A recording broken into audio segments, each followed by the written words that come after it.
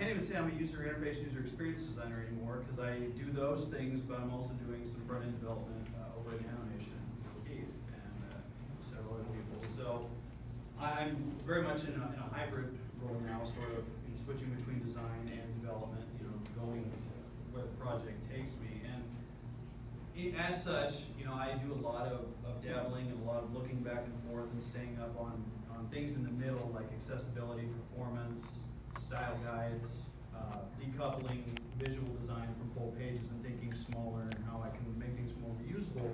And that's how I've come around to be here. Um, some experiments I was doing at my previous employ uh, with style guides in code.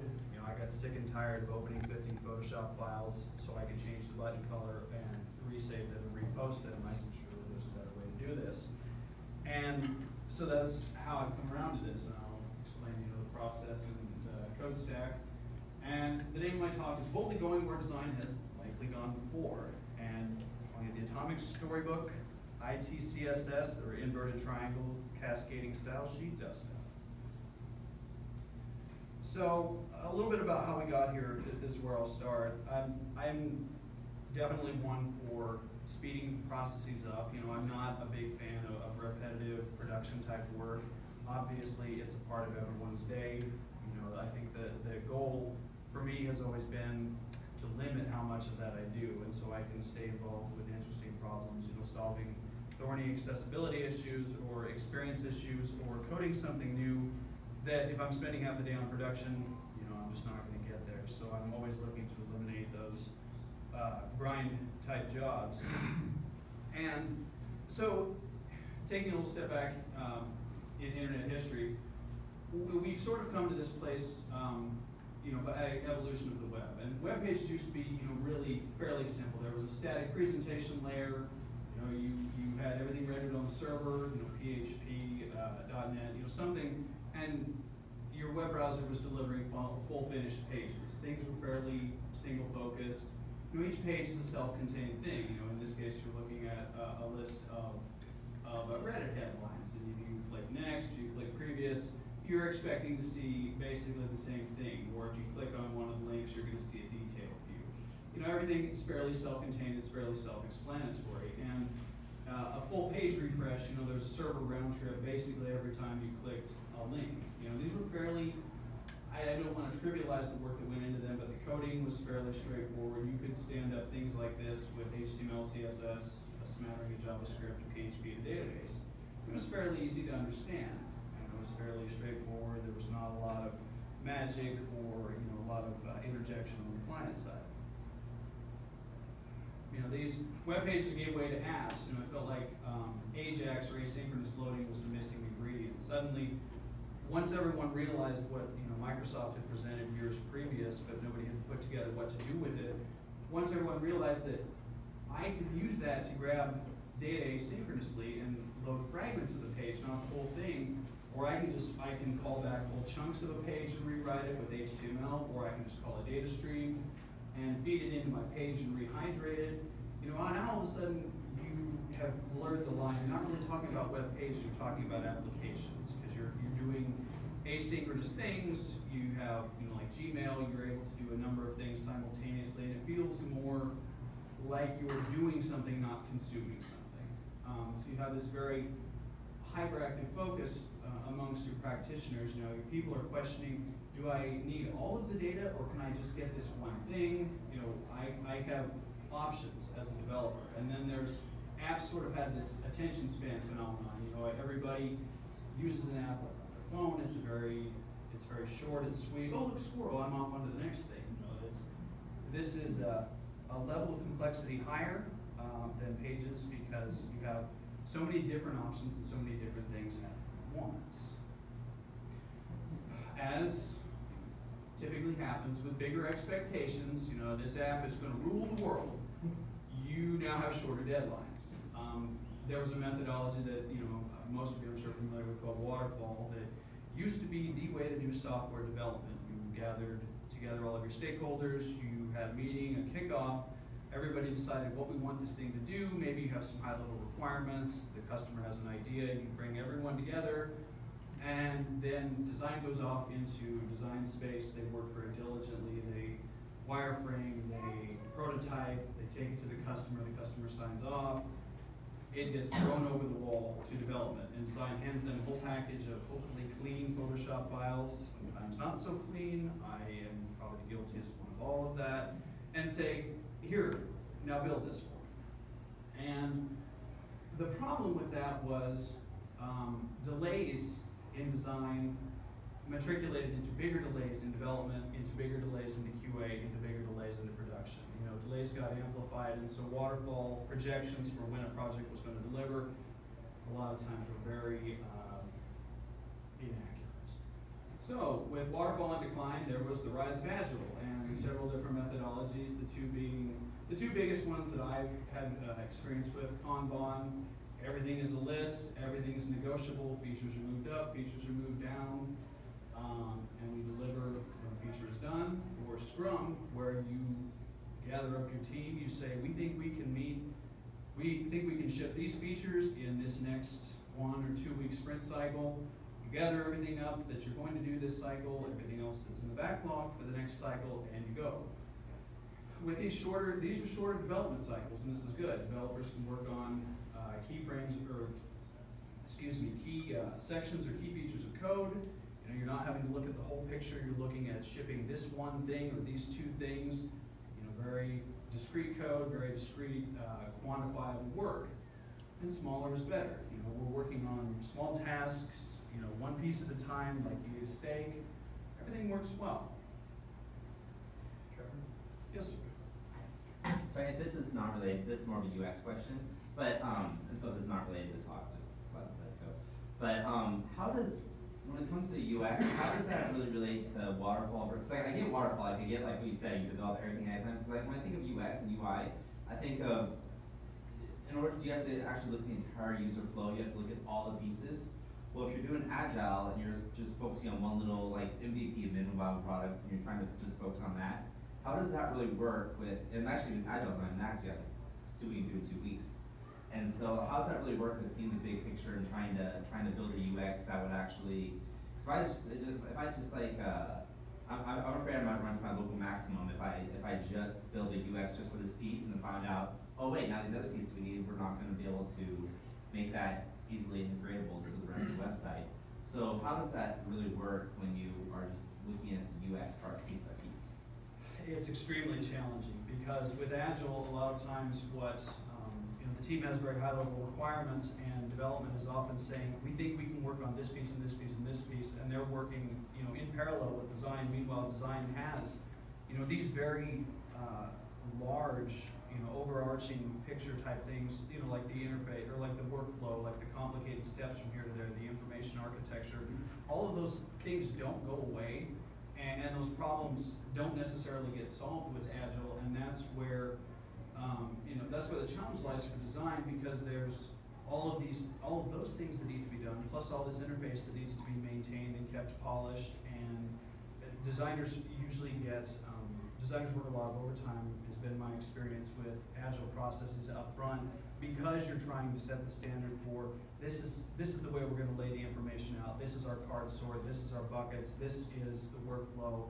And, and that goes double if you have, you know, applications that have many complicated workflows, like, uh, even e-commerce, you know, everyone fairly understands the, you put things in a cart, you have a checkout process, you know, but if you have multiple checkout processors where your card is asynchronous, or, you know, there's a lot of things, or you're doing subscriptions versus products, you, have to figure out all those flows, uh, otherwise, you know, your experience, you get about halfway through when you're about ready to ship, and you're like, this flow is all wrong, how did we, how did we get here? And, and that's, so, uh, the long, winding answer to your question is those problems don't really go away, design has to, design really has to just look at, you know, where they're at, and they have to focus on those things first, kind of to the detriment of visual design and of style guide upkeep at the beginning, otherwise, um, you end up running severe risks of workflowing the wrong thing. And that's why I say this, yeah, we're gonna need to play a little catch up, because that's usually what happens at the beginning of a project, and you are trying to play catch up here, because of the time that's been spent, um, design falls behind, you know, design wants to be very methodical, design wants to set down the information architecture, the basic experience, the basic styling.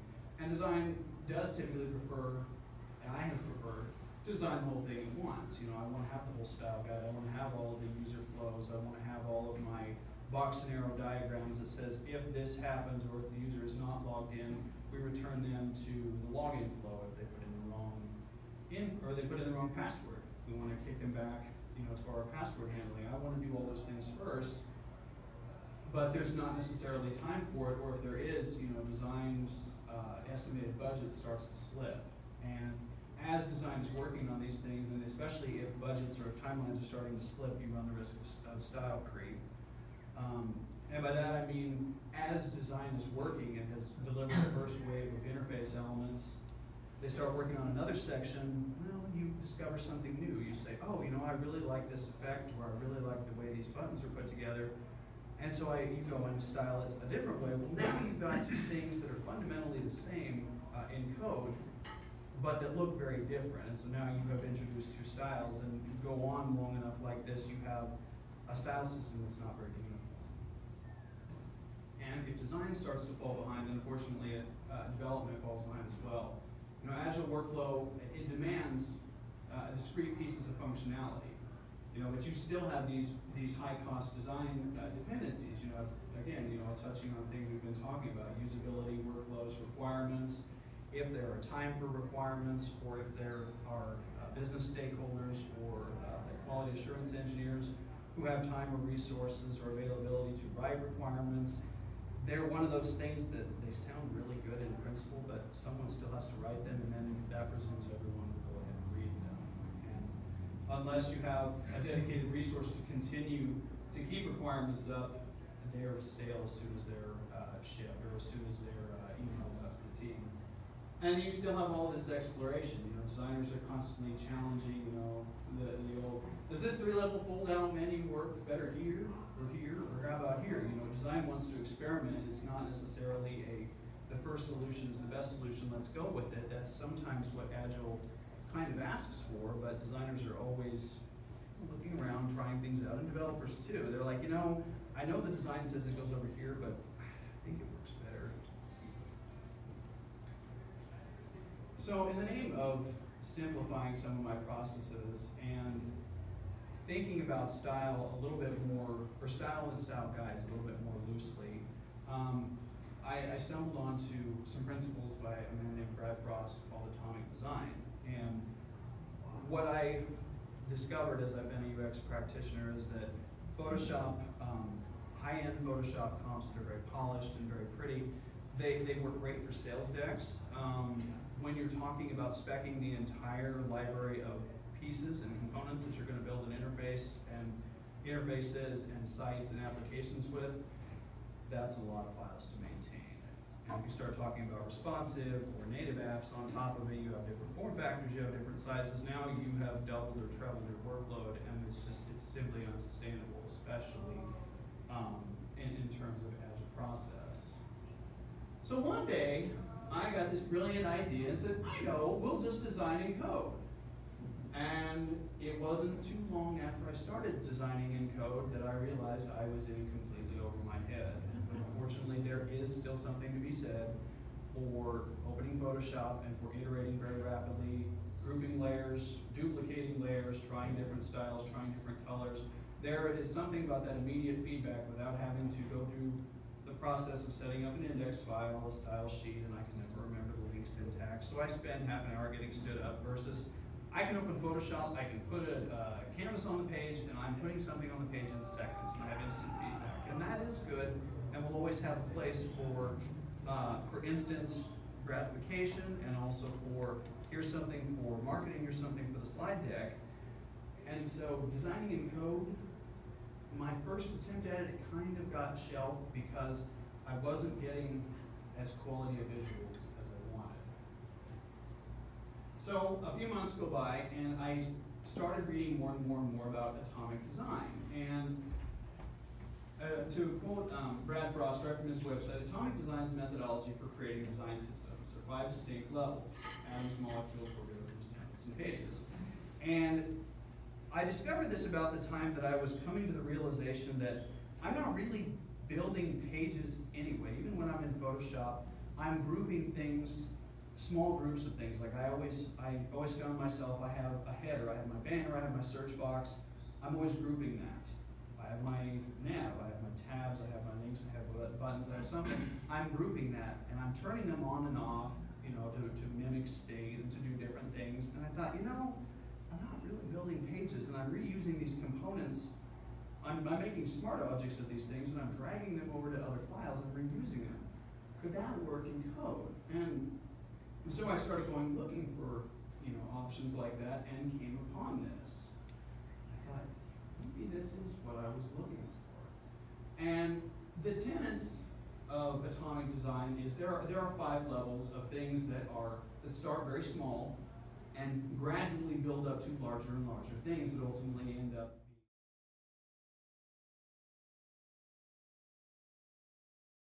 gives you a new folder.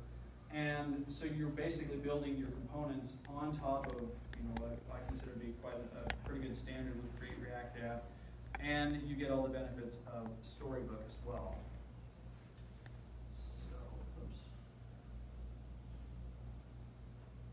All right, so I'll talk about some of, some of the code I'm writing. I'll just, uh, touch on like an atom, on what a story looks like, and, uh, you know, I'm writing feature tests. So this is my button component.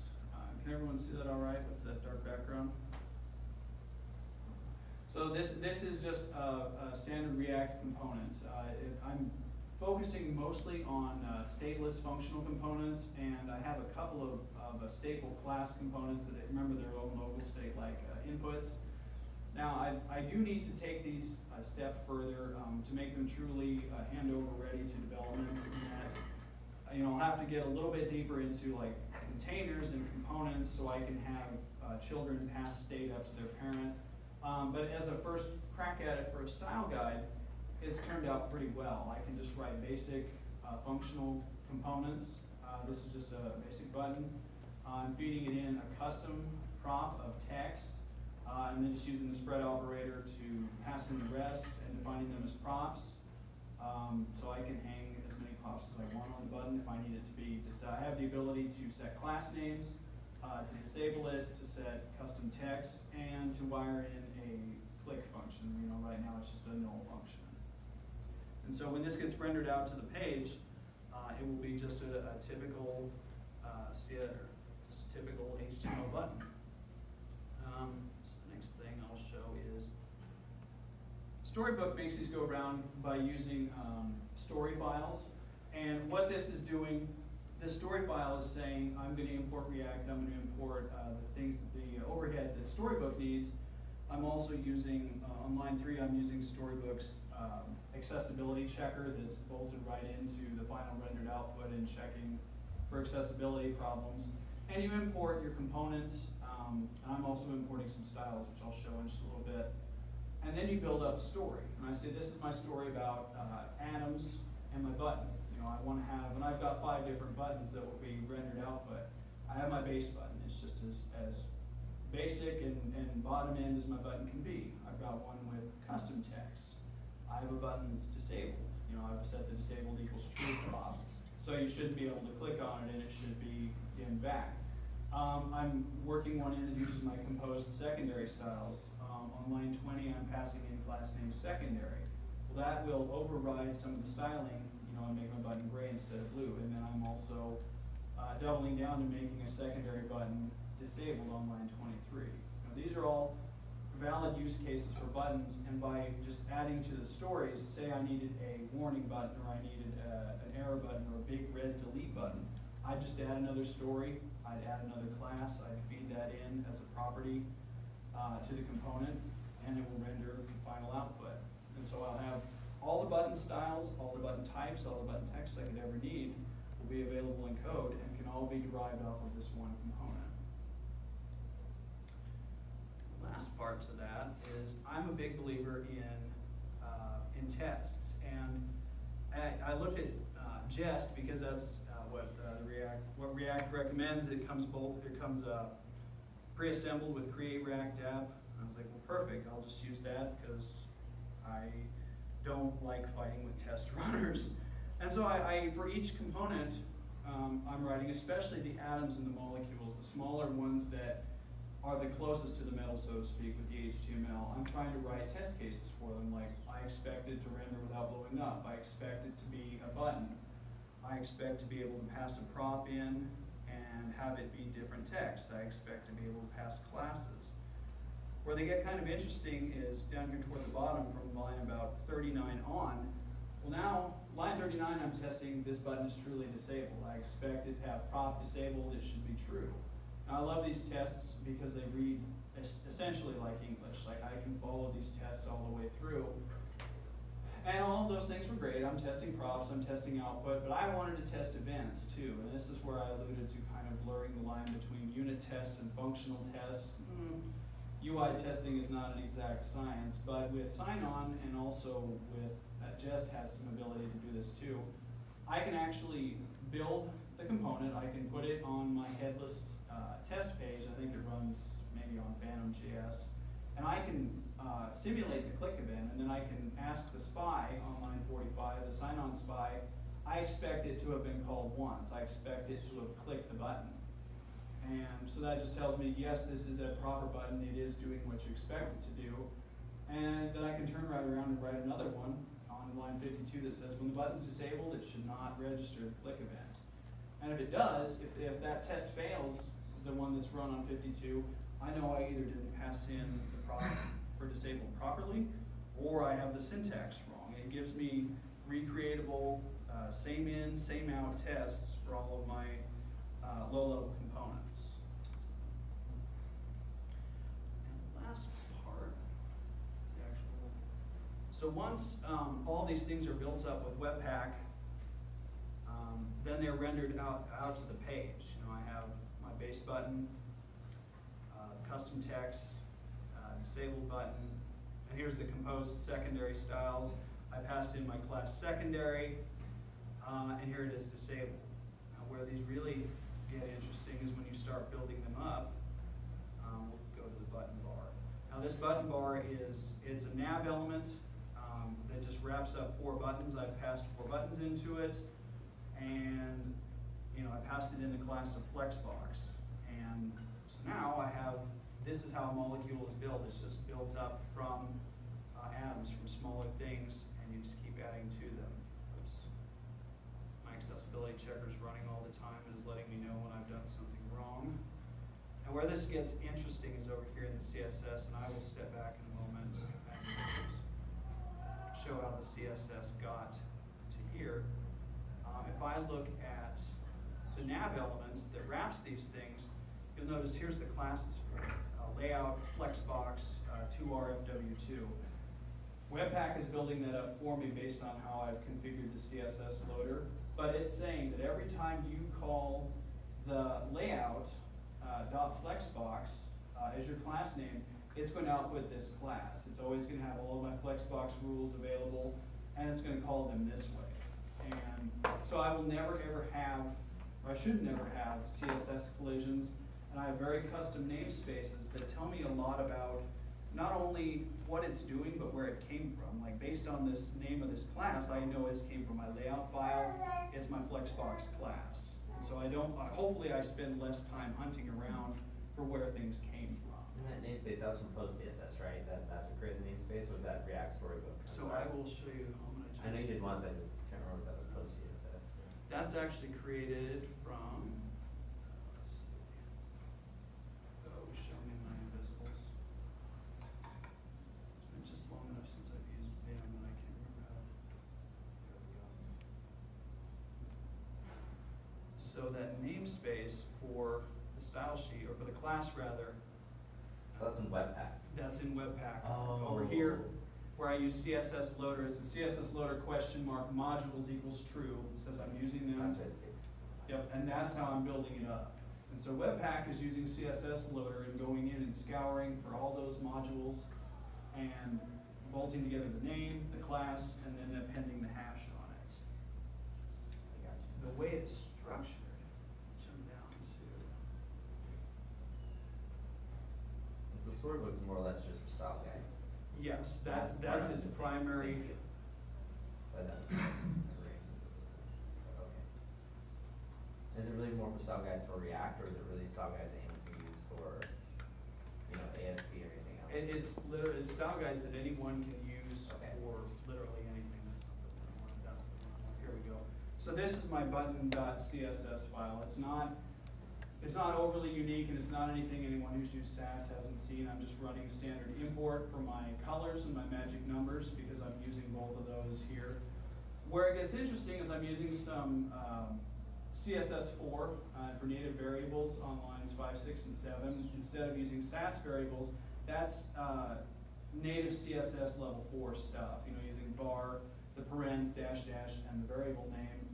Um, I'm also using a couple of uh, PostCSS plugins to do uh, the nesting, uh, so I can do and disabled, so I can say base button disabled, the opacity is, um, you know, is fifty percent. And I'm using the composes from secondary, composing, to your point earlier about why not just have two classes instead of three. I'm actually doing that here. I'm using, secondary saying composes base, just pull base in, and then override just the background color and the color. And then that's you using the CSS next is basically turns that CSS four into CSS three. Yes, Okay. the, the PostCSS uh, plugin for CSS Next, that's a mouthful, is looking for all those Yeah. CSS level four and is stepping them down to uh, usable CSS today. One of those PostCSS plugins also uses, uh, has auto prefixer embedded by default, so any uh, vendor prefixes that are needed according to can I use are, are thrown into the style sheet for me. So I can literally write border radius and it will figure out how many vendor prefixes I need.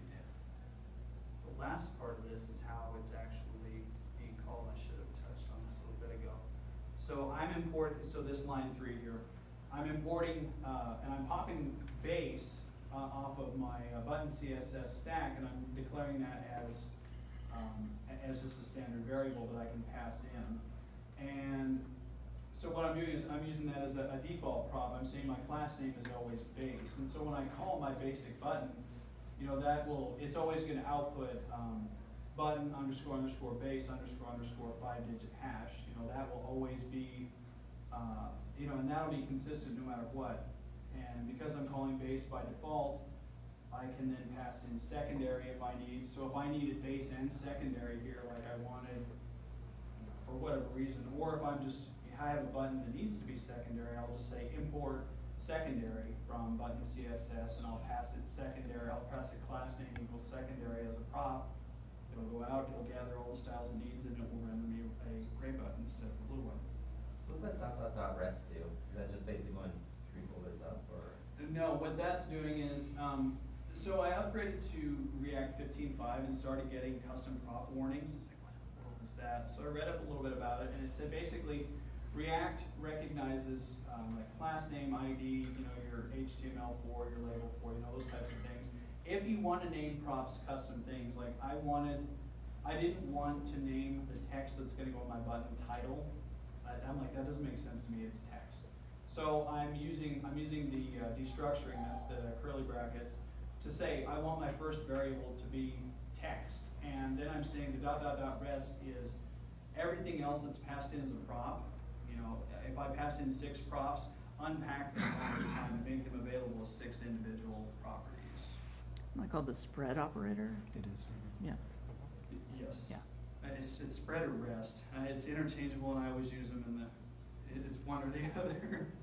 But yeah, I'm using that so I can, so I don't have to limit myself to very specific properties to pass in, like, I don't know what properties I'm gonna need on this button all the time. I know for certain that I want defaults for class name, and I wanna define the basic class name, so my dev team, if they were to call this button component in their style sheet, or if they were to call this component in like a dialog window, for instance, they don't have to worry about feeding in a class name because I've already defined that um, in the default props. Basically, it's like unless they override it, they don't ever have to worry about calling CSS. They can just call button.js component, and Webpack will gather up all the uh, ancillary files it needs for them.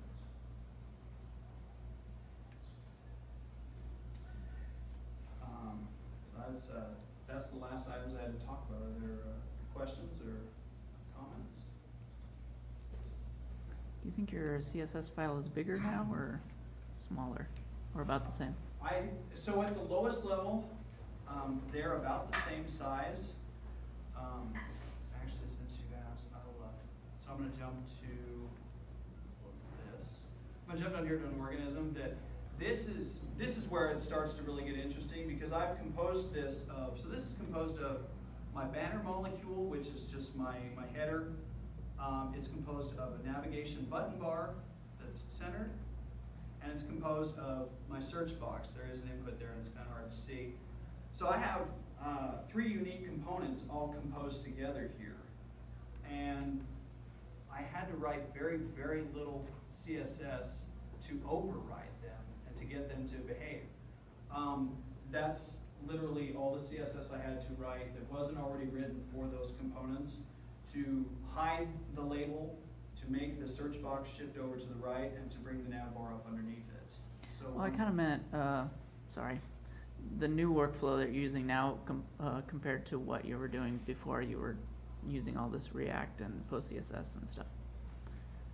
So the the workflow I was using before, um, so with uh, Pattern Lab, you know, I was just, I was using the, the atomic principles haven't changed, just, uh, just the tools that I'm using. Instead of uh, HTML and mustache templates, using React components. The big change has been how I write the CSS. Like at, at that time, I hadn't heard of ITCSS yet, and I was doing, I wasn't separating my files out to, to this level of granularity. I always, I always had a variables, a colors, uh, magic numbers file.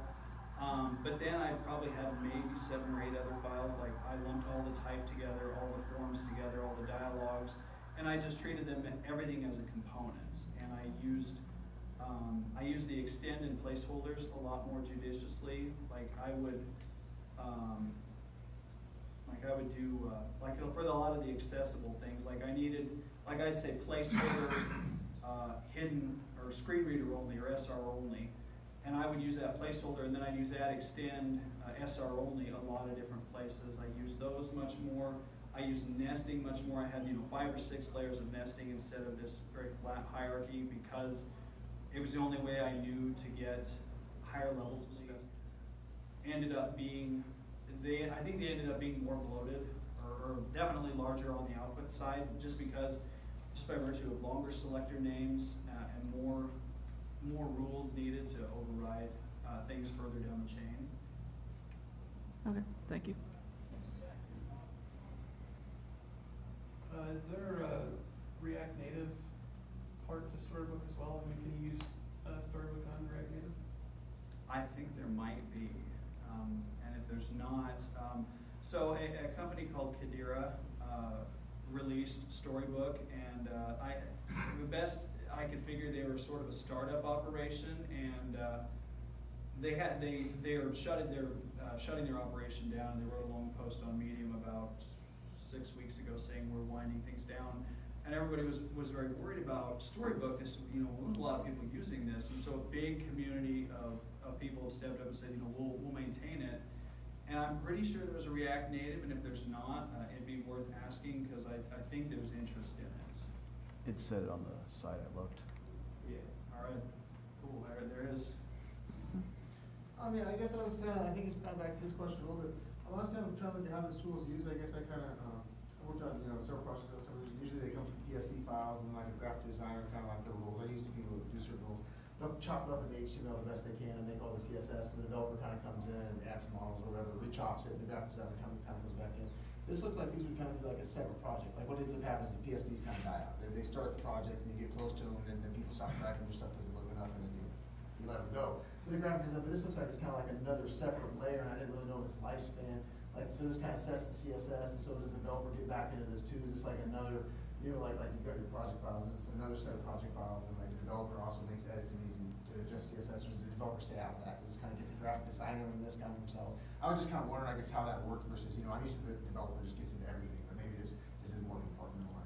Um, I think it could be, I think the answer is yes, and it could be what, what works best for your team. I, I'm in kind of a unique position where I, you know, with the team I was on previously, and one of the reasons that, uh, you know, Nanonation was interested in bringing me on was, you know, I could write CSS at a pretty high level, and not every designer is interested in it, not every designer wants to, and, and that's fine if the designer, this, what I was trying to accomplish was because I was already so close to what the development team was doing anyway, and was really looking for, uh, an excuse to get out of writing everything in, in Photoshop files and to maintain our styles better, not have style drift, was just to, how can I create all the things that I can hand over to the development team and say, here are the components, they've been styled for you. If you need to make changes to the style, to the components, make them here so we can all review them together. And the, the idea is, it, this should serve two purposes. One, um, it should be,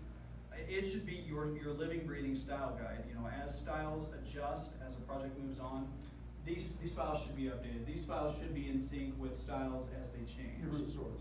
Yes, this, this is, this is the one truth, or one source of truth for what things look like. Um, my hope with it is to be able to, um, like, I have, like I I have some work to do with components, I'm gonna have to get serious about stateful containers, and, uh, like, so if I have the search box, how can I pass state up to its parent, you know, things like that would have to be done before these are true, like, handoff files to developers saying you can implement these, you can take these files, you can implement them into your workflow, and you can start calling these components and just using them as is. That's my ultimate goal, is to create components that are production ready.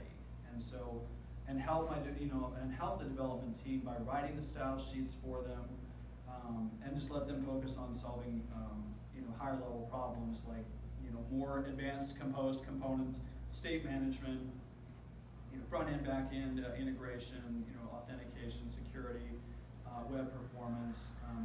Because I, I found, it's, it's been my experience that a lot of the development teams that I've worked with in the past, they're kind of very so-so about writing CSS. People will do it, but if given their druthers to write CSS or JavaScript or, you know, something else, they'd much rather do something else. And I saw, and, and I saw an opportunity to help um, solidify or, and, and help um, reduce uh, style drift. You know, because everybody looks at, looks at a thing and then says, well, that looks like a ten pixel gap, and someone else says, well, that might be a twelve pixel gap. Now we have a little bit of style drift, and, you know, they're, they're small, um, but designers can pick up on those and, and, you know, those, uh, what I call, um, hangnails, those are the things that customers notice, and I thought, how, my initial thought was, how can I close the gap on those things? And it's like, well, help your team out, offer to write the style sheets, and then, and hand them these ready-made things that it's like, if you apply these classes, initially it was, apply these classes, and the style sheets will fall into place. And that was great for a while until we started getting into layout things, and I was writing style sheets in such a way that it was predicated on the HTML layout being exactly what I was giving them. And that started to fall down in a hurry with React, where you're returning, you have to return one element. And so things get wrapped in divs, and then my, my nesting counts would get off and layouts would fall apart. And the low-level components would be styled, but the layouts would be, would be wrong. So then we, we got into Pattern Lab, and again, we were still tripping over that because things had to be rewritten and, and rendered in, and, um, refactored into React components, and so they, the situation got a little, got incrementally better, but it still wasn't quite there. Well, the only way we're gonna get to where I wanna be and where I'm gonna be most helpful to the rest of the team is if I'm writing React, is if I'm writing it as if I was writing things that I'm gonna turn over to you and use in production. Thank you for your answer. Do you deploy your storybooks so they're accessible outside of locally, locally? Yeah, I've got, uh, I've got this on Git, uh, on, I'm sorry, on GitHub, um, and I'll give everyone the address at the end. Um, I, I need to go, I'll warn you, I need to go in and update the, uh, uh, README file, because it's not as simple as like cloning my repo and then just running npm install. Um, it, it, it's a little convoluted to get it stood up, but once you get past that initial stand-up process and drag in you know, all the config files for, into the .storybook folder, everything will work after that. What about internally? I mean, like, so say, you know, other designers or developers So- may not wanna like pull down a whole repo and view it. I mean, are they able to access it outside of doing that? Um, it, you know, as long as I've got it stand up, stood up on a web server and got, uh, Webpack running, yes. I, I think there's even a, uh, if I'm not mistaken, there's a, there's a uh, build command that will do exactly that, that will export it as, here's, here's basically static HTML for everyone. I think that's, I'm almost sure of it, because that's the, that's the ultimate end game. Like, anybody could have a copy of this and not require Webpack and NPM and, and React and have all the things. Like, you ought to just be able to drag an index file and say, I wanna look at the buttons. You know, and that offers, that, I feel like this offers up a real opportunity for, uh, early in the project too, like, you have stakeholders who look at the designer and say, what have you been doing for the last three weeks? I've heard nothing from you, and you can, oh, here you go, I've, I've built up all the components, I have all the things, and, you know, these are all very low level, because I, had this conversation with my boss once, he said, what have you been doing for three weeks? And I said, I've been building up all the components. He says, all I see are buttons and text blocks, I don't see pages. I said, come back tomorrow. Because now that I have all the pieces, I can just toss pieces into a page, and suddenly I have full-featured pages. This, this is very heavy on the front work um, for small, for atoms and for molecules, because those are your building blocks by which everything else is defined. Once you get to the organism stage, like where you're building a header, you're building a footer, you're building an av bar, you're really just grabbing components off the shelf, feeding them a proper tube, writing ten lines of CSS, and like I, I uh, hours working with the atoms, a few less hours working with the molecules. Uh, as a thought exercise last night around eleven, when I should have been going to bed, I decided to build the organism, and it took me about twenty minutes, to start to finish. A lot of copy paste and cheating, but, and then I did, you know, ten minutes cleaning up the style sheet today to get it doing just what I wanted.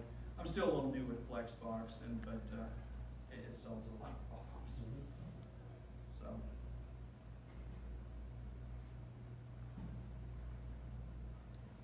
All right, last one, sorry. Um, are there any other, uh, plugins that you recommend besides the accessibility one? Um, I think that is, that's the only one that it, for, uh, are you saying like, uh, storybook centric plugins? Yeah. That's the only one I'm using so far. Um, I haven't found a need for at the end processing. Um, oh, I take that back. If I could get, uh, it's not really a, uh, React, or I'm sorry, it's not really a storybook centric, but if I could get Axe Core working with Jest, so I can run the accessibility test audit, um, while I'm running all the rest of those tests in Jest, I would do that. So then I can get, um, pre-render and post-render accessibility checking on these. Because this, this one runs uh, on the rendered output, I would like to catch it, because there's a, a React port of Axe Core, which is kind of the de facto accessibility checking standard that looks specifically at your React component before final render to HTML and is looking for errors that might not be present or that might, you know, render or present differently in final output. Um, does this do anything for uh, CSS animation? For, I'm sorry, which is? CSS animations or transitions? Is You sure, you can, yes. Yeah, just has, just typical CSS support, is doing anything extra for them or anything, or? Uh, not out of the box, it doesn't. I'm not sure if there are plugins for, but yeah, like as far as standard animation, if you just write your standard animation rules and it will support.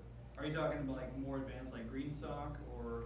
Oh, no, just frames and stuff like that, like say I've got a set of frames and then I wanna attach them to this button or that button, to move it or shake it, or, or just, just stuff like that, like the ability to attach, you know, say you get your animation like a shake, and then the ability to attach that to different components easily, you know, start and stop, put timings on it. I mean, you can do it all in CSS, but I just wondered if they had some helper stuff for it.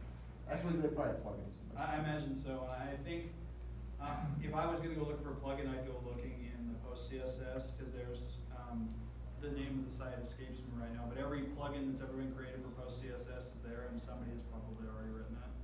And It's basically whatever you want to do with PostCSS, there's probably a plugin for it. I saw a Fade example on there as well. So kind of similar. I think the vendor prefix thing is probably super helpful with that. Yeah. 'Cause those can get really painful to write keyframe animations without a vendor prefix generator. Is it- I wonder if auto, I don't know if Autoprefixer backfills like keyframes and animation. I think it does, yeah. Okay, because Autoprefixer, I'm not sure which plugin it is, it might be the cssnext, has Autoprefixer rolled into it already, so it's, um, when the CSS is, is outputted, um, to the final file, it's, it's sticking in all the vendor prefixes that are needed. And I think they keep that pretty accurately tied back to, uh, can I use?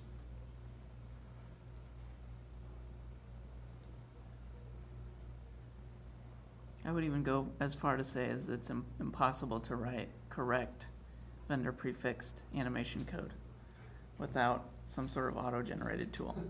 It's not worth it. Yeah, it's impossible to get the fallbacks correctly, yeah, correct, because it's just, there's so many weird edge cases. So, yeah, I would recommend using a tool.